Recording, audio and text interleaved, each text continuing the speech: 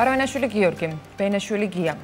ირაკლი დაჩიბერაია, რიმა ბერაძე, მაია ბითაძე, ანზორ ბოლქვაძე, ელისო ბოლქვაძე, მაკა ბოჭორიშვილი, ეგუჯა გოცირიძე, ბეკა დავითულიანი, ალექსანდრე დალაქიშვილი, ზაურ დარგალი, ისკო დასენი, ზალ დუგლაძე, ავთანდილ ენუქიძე, გოჩა ენუქიძე, გია ვოლსკი, ირმა ზავრადაშვილი, ირაკლი ზარქუა, არჩილ თალაკვაძე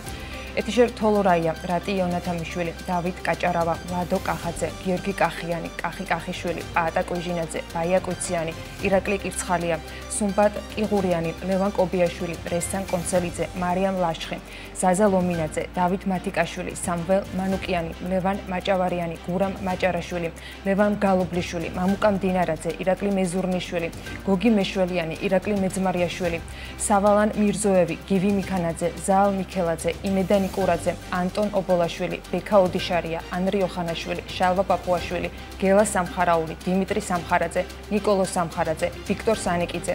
ეკა სეფაშვილი, დავით სოღულაშვილი, გიორგი სოსიაშვილი, სოზარ სუბარი, ალექსანდრე ტაბატაძე, ნოდარ ტურძელაძე, ირაკლი ქადაგიშვილი, ლევან ქარუმიძე, მერაბ ქვარაია, სალომე